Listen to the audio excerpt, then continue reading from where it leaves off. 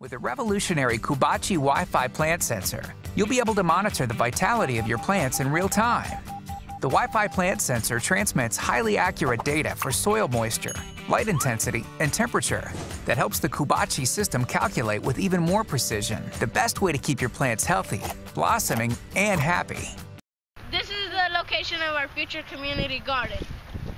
Imagine that uh, a lot of people are picking up vegetables.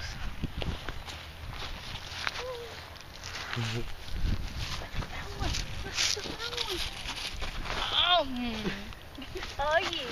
and in this place, in our salsa garden, we're gonna have jalapenos, peppers, and onions, stuff to make the salsa stuff. And we're gonna have a salsa contest. The Santa Fe South community consists of the elementary, middle, and high school. We will help hundreds of families so they can pick up vegetables.